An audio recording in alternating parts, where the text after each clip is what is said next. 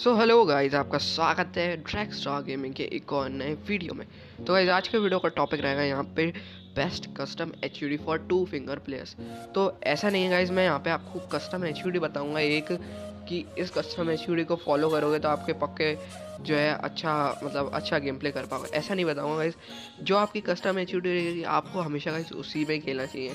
जो आप शुरू से खेलते आ रहा, उसी में खेलना चाहिए। क्योंकि अगर आप किसी दूसरे की कस्टम एचयूडी को लोगे ना गाइस तो यहाँ पे आप जो है अच्छे से मूवमेंट नहीं कर पाओगे। और ऐसा कोई दिक्कत वाली बात नहीं होती गाइस कि अगर आप एक टू फिंगर प्लेयर हो तो आप जो है थ्री फिंगर प्लेयर को हरा नहीं पाओगे। क्योंकि गाइस मैं आपको एग्जांपल बताता हूँ। M ten and jack F जो ये वो बाहर के बंद सर्वर के जो बंदे हैं ना ये ये बंदे गाइस टू फिंगर में, आपने देखा ही होगा इनका गेम प्ले कितना तगड़ा होता है गाइस यहाँ पे देखो मैं भी टू फिंगर में खेल रहा हूँ और मैं कितने इजीली वन टैप मार पा रहा हूँ। तो गाइस मैं आप यहाँ पे आज आपको सात ऐसे टिप्स एंड ट्रिक्स दूँगा, जिनकी मदद से अगर आप इनको अपने कस्टम एच में फॉलो करोगे ना तो आपके यहाँ पे सबसे पहले फ़ायदे, फ़ायदे बता देता हूँ। तो पहले तो आपके गाइज़ एकदम इजीली ड्रैग पड़ने वाले हैं, फिर आपके इजीली वन टैप पड़ेंगे गाइज़ फिर आपका जो मूवमेंट रहेगा यहाँ पे बहुत ज़्यादा फास्ट हो जाएगा। आप ग्लोवल अच्छे से मार पाओगे। और यहाँ पे जो आप गलती करते हो ना मतलब कि कस्टम एच में कभी कभी कि गलती से जंप कर रहे थे और गलती से वो जो स्कोप वाला बटन खुल गया। नहीं तो चल रहे थे गलती गलती से मतलब कि वो जो है मूवमेंट वाले बटन पे क्लिक हो गया और अपन रुक गया कैरेक्टर आपका। तो ऐसी कोई भी मिस्टेक्स आपके साथ नहीं होंगे और आपका एकदम स्मूथली गेम प्ले कर पाओगे। तो गाइस बहुत इंपॉर्टेंट वीडियो है इस पूरे वीडियो को एंड तक ज़रूर देखना। तो स्टार्ट करते हैं इस वीडियो को एक छोटे से इंट्रो के साथ। तो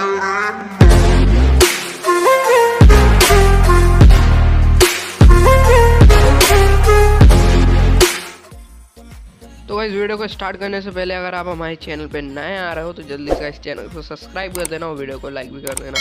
तो भाई सबसे पहली टिप की ओर बात करते हैं, जो कि रहेगा यहाँ पे बैलेंस तो गाइज़ आप जो है यहाँ पे एक बैलेंस क्रिएट आपको करना ही पड़ेगा अगर आप एक टू फिंगर प्लेयर हो।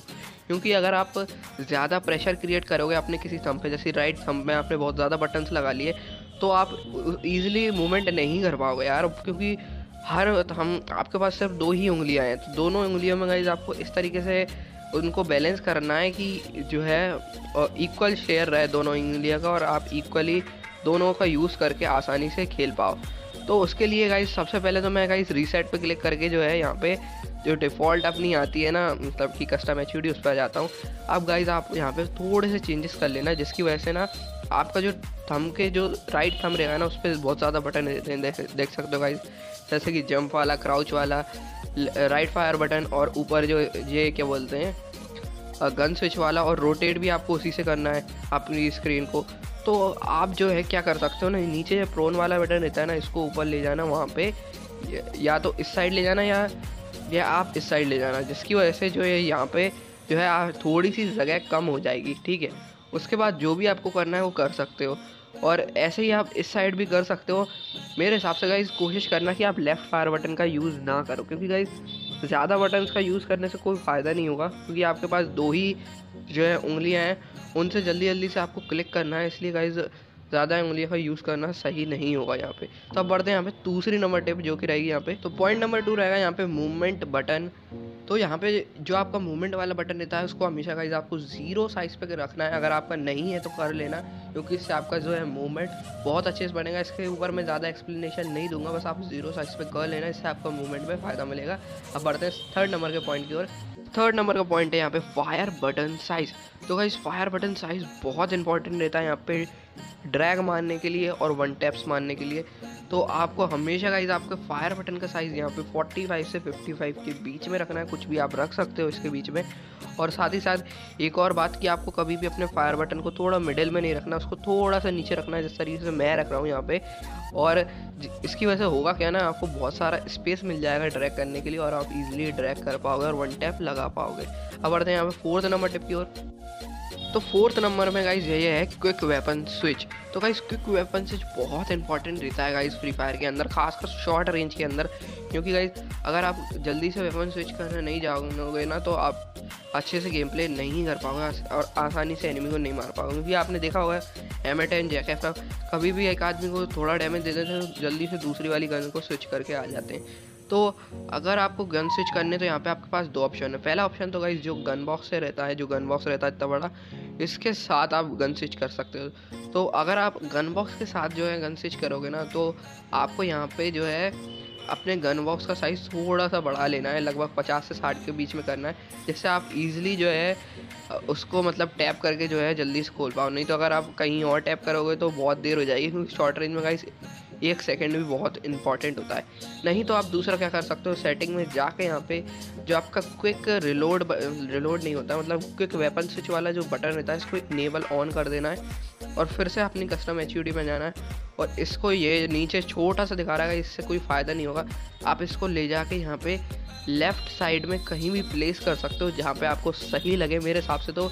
जहाँ पे लेफ़्ट फायर बटन रहता है ना, आप लेफ़्ट फायर बटन को हटा दो, उसको यूज़ मत करना। उसके बदले में आप ये गन स्विचिंग वाले बटन का यूज़ कर लेना, उसको उधर साइड रख देना। ठीक है, जिस तरीके से मैं दिखा रहा हूँ। इस तरीके से आप रखोगे तो आप इजीली गन स्विच भी कर पाओगे। बट इस पर पूरा डिपेंड आपको करना है, जो आपको मतलब जिस, जो आप में सुटेबल लेता है कि आप गन बॉक्स वाले से स्विच करोगे या ये वाले बटन से। ठीक है? तो वाइज ये हो गई हमारी फोर्थ नंबर अब फिफ्थ नंबर टिप की ओर चलते हैं। तो फिफ्थ नंबर टिप पे हम यहाँ पे लेफ़्ट जो साइड रहेगी गाइज़ हमारे जो स्क्रीन की लेफ़्ट साइड रहेगी, यहाँ पे स्पेस बनाएँगे। क्योंकि गाइज़ देखो, अगर आप ध्यान से देखोगे तो ये लेफ़्ट साइड रहेगी, यहाँ पे कितने सारे बटन्स हो चुके हैं। तो इसकी वजह से बहुत कम स्पेस मिलता है आपको। अगर किसी भी बटन बटन का आप साइज़ बढ़ाओगे तो यहाँ पे बहुत कम स्पेस मिलेगा। तो आप इसके लिए क्या कर सकते हो ना, जो आपका प्लेयर वाला बटन का जो ऑप्शन रहता है ना गाइज़ जहाँ पे आपके प्लेयर्स बताते इसको ले जाके या तो आपको राइट साइड के कॉर्नर पे रखना है या लेफ़्ट साइड के कॉर्नर जिस तरीके से मैं दिखा रहा हूँ, क्योंकि ये इसका कोई काम ही नहीं आपको पता है। और इसकी आप ट्रांसपेरेंसी और करा देना इससे आपको कोई भी दिक्कत नहीं आएगी और इसको इस साइड पे रख देना।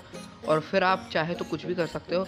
आप चाहे तो ये बैग वाले बटन को ऊपर ले जाके इसका साइज़ बढ़ा दे सकते हो और मेडिकेट वाले का भी बढ़ा सकते हो और ईजिली आपके जो सारे आइकन रहेंगे वो बड़े हो जाएँगे और आपको इनफ स्पेस मिल जाएगी। ठीक है, अब बढ़ते हैं पे सिक्स नंबर टिप की ओर। तो ये गलती का बहुत लोग करते हैं कि वो जो स्प्लेंट करने वाला ऑप्शन रहता है, उसको कहीं और पे रख लेते हैं और जो ग्लूवल वाला बटन रहता है, उसको कहीं और पे रखते हैं। तो गाइज़ ये गलती मत करना। आपको अगर सही ग्लू वॉल जल्दी मारना है तो आपको क्या करना है ना गाइज़ हमेशा गाइज़ जो आपका भागने वाला बटन रहता है, यानी कि स्प्लेंट करने वाला, और जो आपका ग्लू वॉल वाला बटन रहता है ना, इनके बीच में डिस्टेंस बहुत कम रखो, एकदम ही कम रखो, और इनके साइज़ हंड्रेड पे कर देना, क्योंकि गलती से भी अगर आपने इनके अलावा कहीं और भी लेफ़्ट साइड में प्रेस कर दिया, जैसे कि यहाँ पे अगर आपने गलती से दबा दिया तो होगा क्या ना, वहीं पर आपका मूवमेंट रुक जाएगा, क्योंकि वो, जो मूवमेंट वाला बटन रहता है ना, वो उसको सेंस कर लेगा और वहीं पे आप जो, आपका जो कैरेक्टर रहेगा, रुक जाएगा।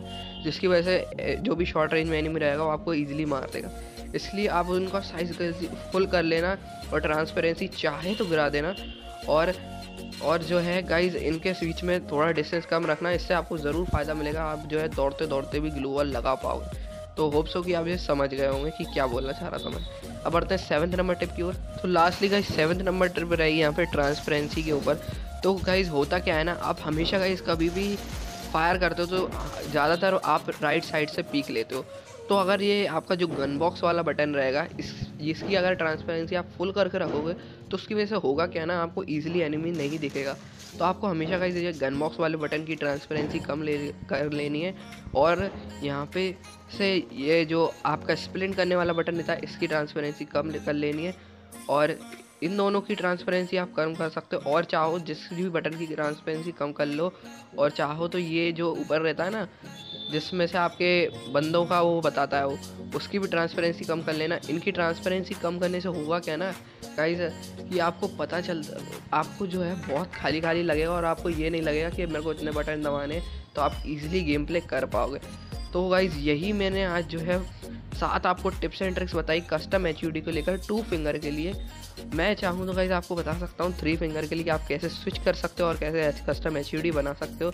तो गाइज़ कस्टम एच बनाना फुल्ली आपके ऊपर होता है बट मैं बस यही बता सकता हूँ कि आप इन टिप्स को फॉलो करोगे। तो आपकी जो है गेम प्ले में थोड़ा बहुत इंप्रूवमेंट आपको देखने को मिलेगा, क्योंकि बहुत सी चीज़ें यहाँ पे कस्टम एच से ही रिलेटेड रहती हैं। तो गाइज़ होप्स हो कि आप जो है पूरे वीडियो को अंडरस्टैंड कर गए होगे। तो गाइज़ इसी के साथ गाइज़ यहीं पे ये वीडियो को एंड करते हैं। अगर वीडियो पसंद आए तो जल्दी से लाइक कर देना और चैनल पर नया आ रहा तो सब्सक्राइब कर देना।